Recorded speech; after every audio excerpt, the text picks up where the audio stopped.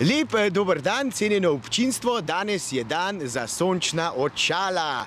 In zato sva z Jožetom oba v sončnih očalih, danes pa z mano moj znanec, prijatelj, časni sodelavec, včasih tudi moj šef, Jože Robežnik. Jože, kako si? Odlično. Uh, V taki fajn družbi, na takem fajn placu, kako lep vreme, kaj češ več. Ah, lep vreme, vreme je seveda lepo, no mogoče je malo mal prevroče. Mogoče mačka, ampak ni tako panike. Boljš kot dešno. Ni, si že bil na dopustu. Bil, oddelal, lepo junija, vse rešil. Tako da zdaj sam še Ljubljana. Kaj, kot pravijo, uh, žabo moraš najprej pojesti. Ja, najprej moraš žabo pojesti. Ja, ja, ja. Najprej moraš žabo pojesti in to mi dobro vemo na TV Ljubljana.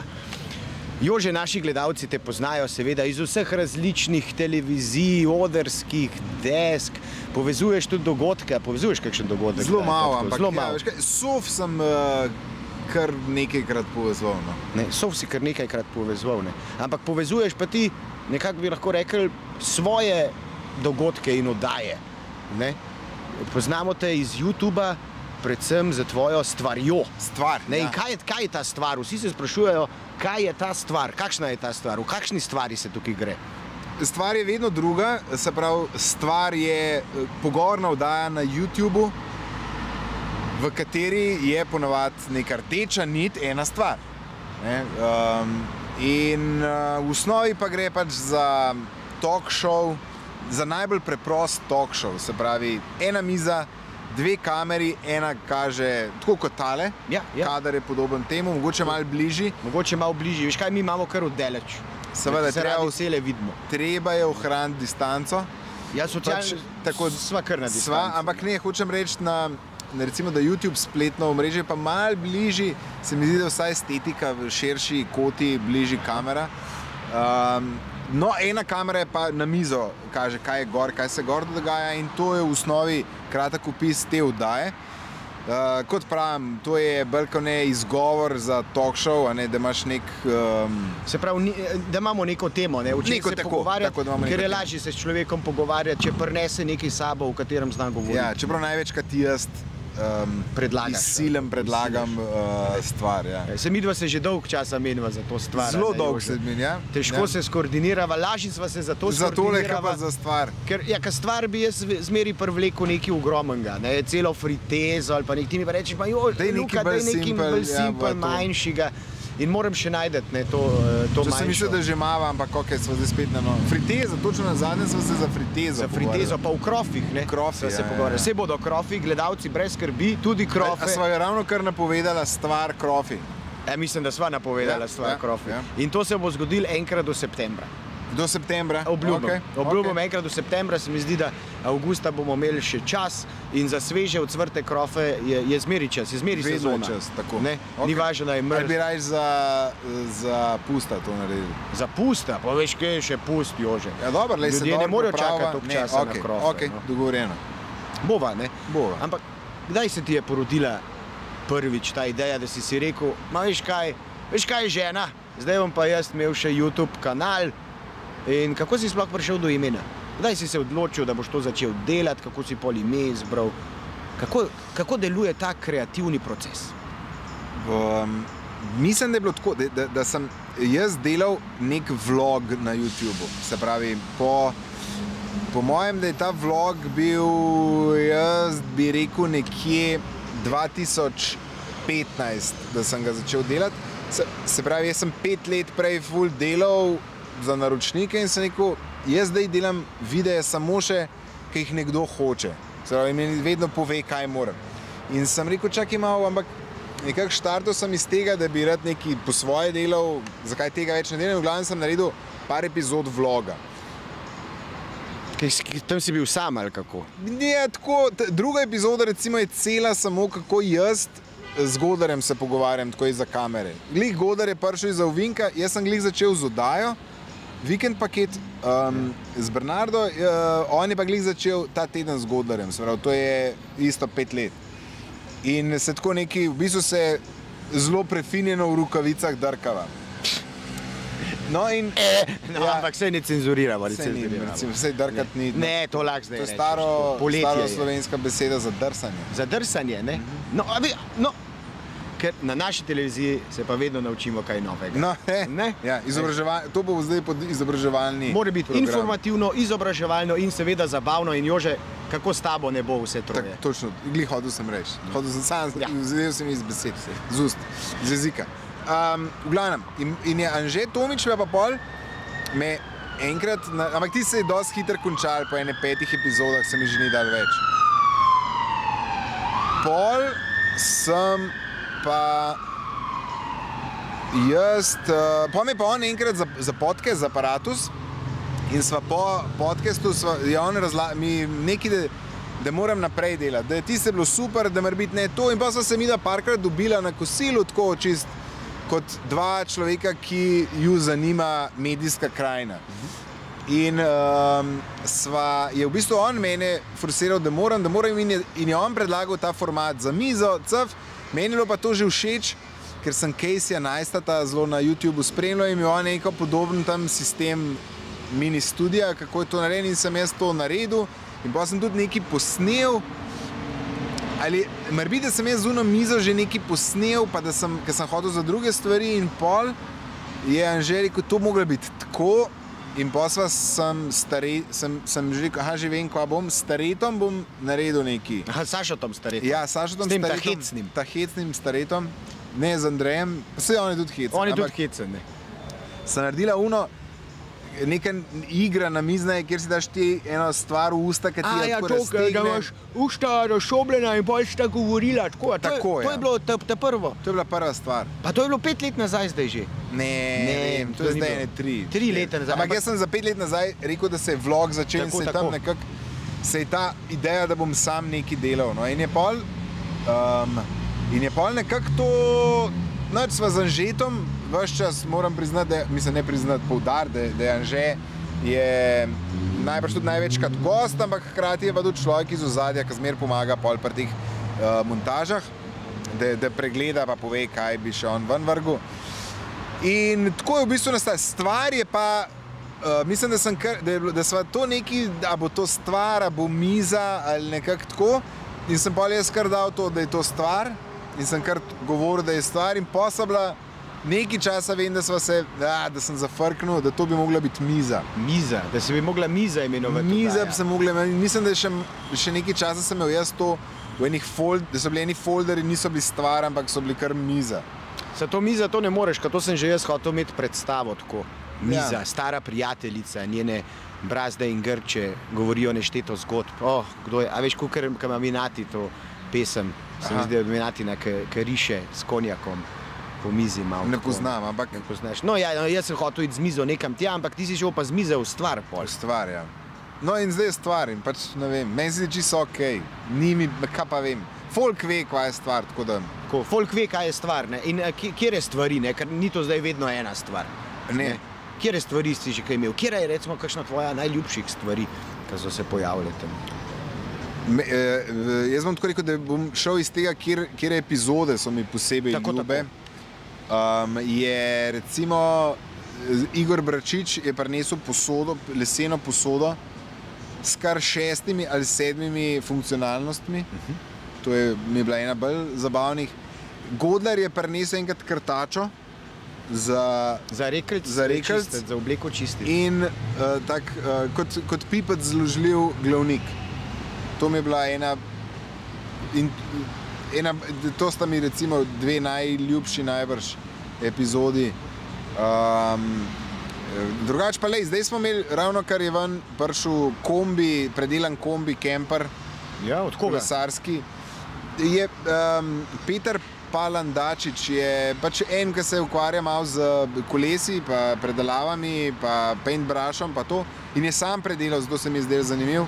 Uh, eno prej so bili zdaj neke dva stara avtomobila, en je bil Jeep, uh, um, se pravi Defender, Land Rover Defender od Al Aleša Novaka. Aha, aha. Pol imamo od Zekirja SL 380 Mercedes, se pravi To je ta- 1984 letnik. To je ta 84, moj letnik. Ja, ne? tvoj letnik, moj letnik ja, to je ta, ki ga je zdaj iz Amerike pripeljal. Točno ta. Ne? Ženo sta šla na poročno potovanje In sta si kupila. in sta si oldtimerja kupila. Ja, hud, ki svine, tako hud avto, da je. In to je tudi, mislim, da sem ga, ki je bil parkiran pred pisarno mojo, pa nisem vedel, če ga in sem se tako slikal, pa malo dvoumno napisal, češ, da sem avto kupil. Mislim, da je najbolj lajkana moja Instagram fotka. no. Dob- ne, Dober avto, Um, dobri lajki. Dobro, in ja, to dela.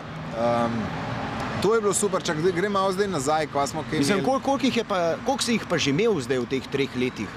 stvari? 107, 106, 107. 107, 106, to je pa veliko, veliko epizod, s katerimi se lahko gledalci zabavajo na YouTubu. Tako je, najlažje, če vtipkate jocohud.si ali pa na YouTubu Jože Robežnik vtipkate, ali pa sam stvar bi morali eh, priti No, do pravega. O, zdaj, že tako daleč smo, da ko stvar napišeš, najprej Jaz tvoja mislim, stvar. da, ja, jaz mislim, da bi morali biti, ja, ker je vedno v naslovu, pa je že s tem malo um, k, k, optimizirano iskanje. Ja, optimizirano iskanje in da boste lažje iskali, si bomo tudi mi zdaj privoščili čas za kratek oddih, med katerim lahko vi hitro pobrskate na vašem spletnem brskalniku, upišete stvar in si že morda pogledate, kaj od Jožeta. In ne? se ne pozabi tudi naročiti, klik. A, naročiti se je tudi Subscribe. dobro. Tudi, tako kot se je dobro naročiti tudi na naš YouTube kanal, ker če nas ne spremljate preko televizije, TV Ljubljana vedno lahko spremljate preko spleta, bolje rečeno na YouTubu. Tako kot ti, Jože, ne, nas spremljaš na YouTubu. Vsi smo na Ne, YouTubu. vsi smo na YouTubu. Se gledamo.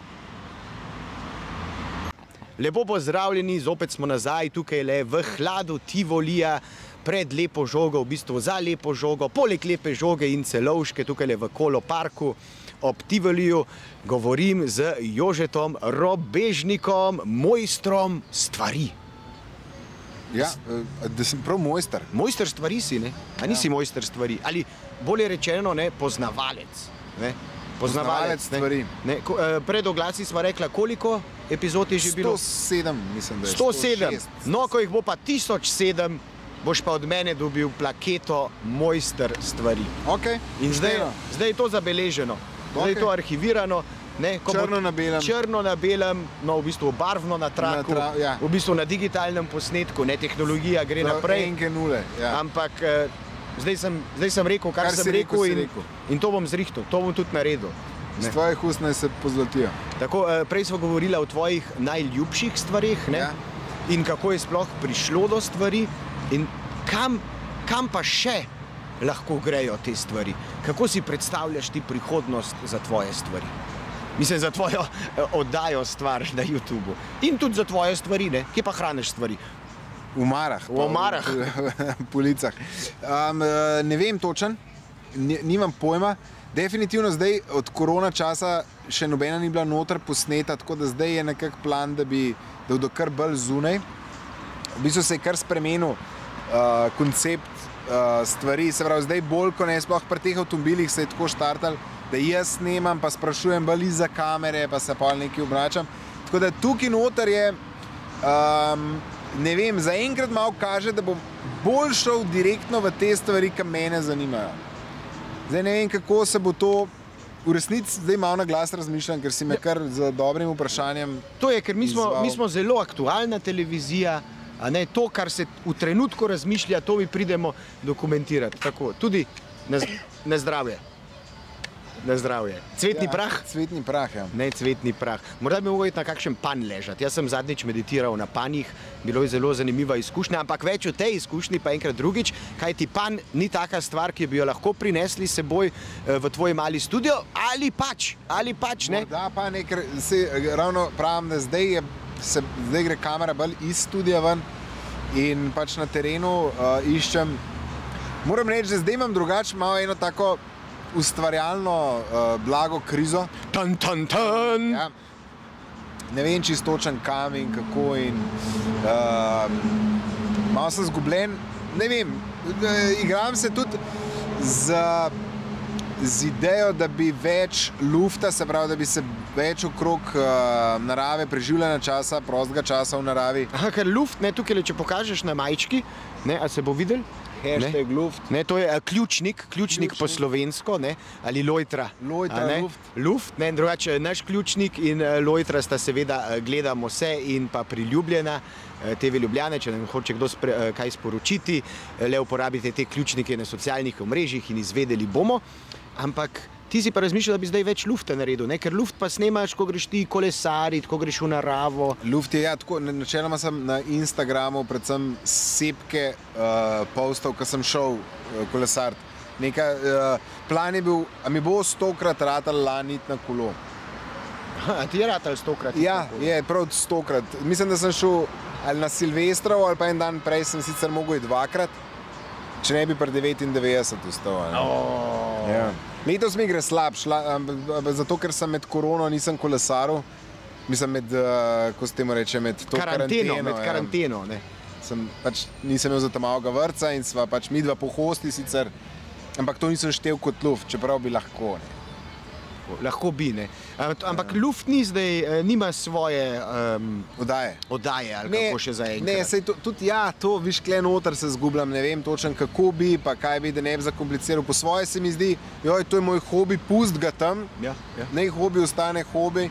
Se pravi, Jaz sem tudi stvar je bila tudi hobi včasih na nek Ja. ja. način, ne pa se je razvila. Zdaj Ja. kar dobro uh, gledan uh, spletni produkt, bi lahko rekli. Tako Lahko da bi rekel, ja. Tudi tale luft se mi zdi, da lahko nekaj obeta. Sem se pa jaz zdaj med najim pogovorom, ker si rekel prej, da imaš krizo, ne, malo Ja. ja. kreativno. Evo, ti si do zdaj izdelal stvar, ne? Ja. In kaj pa, če samo dodavaš eno besedo zraven in delaš živa stvar? To sem že delal. A si že delal živa Ja, stvar? Kaj? žive Ja. stvari so že bile. So to že je bile kot kuški ali pa kaj takega. Ne, veš, kaj je bilo živa stvar, je bil live uh, dogodek.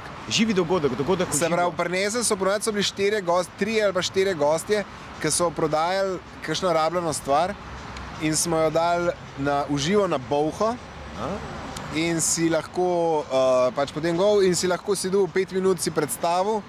In pač uh, je bilo, ne vem, v 20 minutah ponad so bili štirje gostje in to je bilo to. Ampak so tudi v teh petih minutah pol to prodali? Ja, eni so, ja, eni so takoj prodali. Kaj ja. se je pa kaj prodajalo? Kaj se je prodajalo? Ja, Igor Bračič recimo je neke stvari za kitaro, Aha. nek ta, eh, ta material. Ula Furlan je mamine um, salonarje, Uf, to. Sa, salone od Miše Mavk. tako. Salone, salonar je od Miše Mavk. To je šlo 1, 2, 3. Za- To je šlo za med- ne? za med, Za med, med. Um, čak, kva je prodajal uh, Hamo, ne spomnim se. Brado, verjetno. Ne spomnim se, kaj je to. Čak, pa je Mario Čuliberg je prodajal nek uh, elektromoped. A unta zelen, ta mečken. Možno. ne Možno, vem. da je. Ne? Kdo ima zdaj ta moped? A se ve? Až da ne vem. Kdo ima Zgubil moped je- Marija Čuliberga? Zgubil se je, zgubil, zgubila, z- ka- jaz sem zgubil sled. Ne, Ti si izgubil sled. Ne? Mislim, nas zanima, zdaj gledalce zanima, kaj se s temi stvarmi dogaja. A so šle v dobre roke, a so jih ti ljudje obdržali, a so jih še za večji denar naprej prodajali, ne, a so bili tako rekoč še boljši poslovneži. To je treba enkrat raziskati. Enkrat, mogoče, naredi, mogoče to uh, ideja za oddajo. Raziščimo, kaj se je zgodilo s stvarmi. stvarmi. Ne? Tako ne. Kje je moja stvar? Ne vem. O, poklical bom detektiva Jožeta in ding Da, dong. da, sem že kle. Ne, ti si že klej in potem razmišljaš, kam je šla ta stvar. Ja. Ne, da se. E, se ti zdi, da je v Sloveniji drugače veliko prostora za take različne youtuberske oddaje? Um, ni še vse razvito pri nas. A, po, a ti kaj pogrešaš? Kaj greš na YouTube in iščeš slovenske uh, produkte, tako rekoč produkcije, ne samo produkcije, a, pogre, a pogrešaš kakšno smer? Ja. Lahko več kuhanja, več oddaje v živalih. Se me- Meni se zdi, da je kar velik. Um, ne vem. To, da, Ja. veš, kva, trudim se čim manj gledati YouTube. Pa če si tudi ti na YouTubu, as, as, okay. greva, greva, zdaj, greva zdaj eno drugo, te bom jaz vprašal, ne, ker jaz samega sebe recimo ne gledam fullerat. Ja. Ne, to pol te posnetke, ki jih naredim, vse se mi zdijo fajn, ampak sam sebe pa te, težko Ja, gledam, pa ja. poslušam. Kako je zate, ki si tudi iz sveta eh, televizije, odrov, tudi nastopanja? Ne, tudi ne. En, odvisno, no, so, so momenti, kdaj kam je kul, cool, če sploh gre ponad za neke reakcije, recimo če govorijo o stvari. Gre za neke reakcije, nekaj, ali pa mogoče se kdaj zgodi, ker delam tudi uh, izobraževalne videe na temo uh, internetne varnosti. Jo, a seveda, To, kar si tudi ti varnost. Je, delal mi smo včasih. tudi dodali ja, svoje, to se kar razvija. Ne? Ja. Naša internetna varnost v Sloveniji vedno dela aktualne in zanimive eh, izobraževalne videe. ne. Ja, no in je tam, recimo, če kaj se mi rata dobro zmontirati, sem, mi ni, mi se z veseljem gledam.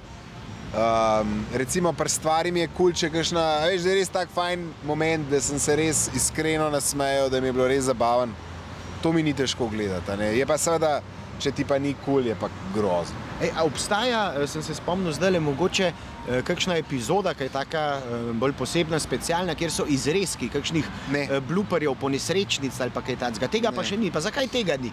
Zakaj Zato, tega to ni? dela. Sej, to je A, tudi to je odgovor dela. na to, ali se ti zdi, da je v Sloveniji dovolj vsega ali česa ni. Mislim, težko je, ne, zato ker je. Ker je to majhen trg in pač eh, to vse za sabo potegne. Koliko moraš ti biti previden pri tem, koliko boš truda v to vložil, če je bilo več denarja. Ne, tako kot je na televiziji, ne, da imaš ti zbran uh, pozornost na en stran, mislim, oni se borijo za to, da imajo pozornost gledalcev, pa imaš ti lahko nek kontent, vmes ga fajn potržaš. Tukaj je pa to, kle so pa na YouTubu je pa več ali manj so ljudje one man bandi in je nek tak začaran krok tega, da ne more ne vem kakšna um, kvalitetna vsebina biti, ker ali mislim, Podporo. ne na dolgi rok, zato ga podpora. Ja. Podpora je bila smiselna, se pravi, uvesti bi mogel to, da plačuješ uh, svojim ustvarjalcem, kar pa spet je, potegne milijon enih stvari za sabo. No. Mejhen trg, mejna država, uh, malo ljudi govori slovensko in um, je, je zoprn. Jaz si ti- moram, sorry, Ja. jaz si moram nos obrisati. Nos obrisa, to, kar Jože, ti si o- obriši nos. Mislim, ne? to, da ne, da, A ja, ne, ti si boš kaj, ti si človek. Ne? Ja, ja. Tako obriši si nos, obriši si nos kot človek. A, a si ga še jaz obrišem, da ti ne bo tako je. nerodno. Tako. Jože si bo obrisal nos, Jaz sem, veš kaj je problem? veš kaj, mislim, da si prvi. Da si prvi, ki si je obrisal nos, Nos ne tako brez srama. Ampak, a veš, vsi smo ljudje. Ne? Moram reči, da jaz sem skozi malo nahoden, ne, se pravi. Um, od, od, od, od mehkega imam neke alergije in to je. Recimo, sem takrat, ko največ stvari cveti, jemljem uh, tablete, ker mi pač ni mi ok. In se skozi malo smrkam in nikoli ni bilo to preveč grozno. Zdaj je pa to ratala štala. Zdaj, ko smrkaš te ali pa kihneš, A ja, ja, seveda, ja. Sto ljudi te pogleda. te grdo- ti- ti- A te grdo pogleda, da je tako gospod, a ste vi bolani, a ne bi mogli doma ostati. In tako ne, ne, samo alergija na cvetni Ja. prah. Ne. Okay. Ah, tako je, ne kaj čmo, takšno je življenje. Jože, eh, hvala ti za tvoj A, čas. smo že Morda, konec. morda še nismo še čist konc. Okay. Nismo še čist konc. Za na konec sem mislil, da bi še enkrat povabil eh, gledalce, ki si lahko ogledajo tvoje zanimive epizode stvari, ne pa tudi morda eh, lufta. Okay. Torej, najlažje na YouTubu, če vtipkate Jože Rubežnik ali pa stvar, ali pa če napišete youtube.com pošiljka Jocohud, karkoli od tega, direkt pridete tja. Na Instagramu me spremljate pod Jocohud, Jocohud, hashtag luft, isto, se Tako. pravi, Ključnik. lojtra, ključnik luft, lojtra luft. Tako. Eh, Res, Jože, hvala za tvoj čas. Kot Hvala da- za povabilo. Kot, ja, z veseljem, najlepša hvala, da si se odzval na ta res vroč eh, dan tukaj ob celovški cesti. Drugače pa, kot sem rekel, ko prideš do 1007, dobiš plaketo, Plaketo. Ne, mojster, Mojster stvari. Mojster stvari, ne, zdaj si samo poznavalec. Ne, potem boš pa mojster stvari in pa seveda, kot obljubljeno, tudi jaz bom privlekel kakšno stvar, da tudi mi dva posnameva epizoda Friteza. Evo, da zadržal te bom za roke. besedo. Ah, tako. In prav je, da me držiš za besedo. Kot je pa že Jože povedal, tudi če na YouTube napišete TV Ljubljana ali na Instagram, boste našli pa naš, tako da tudi naš spremljate, lepo prosim. Lepo se imejte to poletje, z mano je bil Jože Robežnik in želiva vam čudovit dan. Se gledamo! Tchau!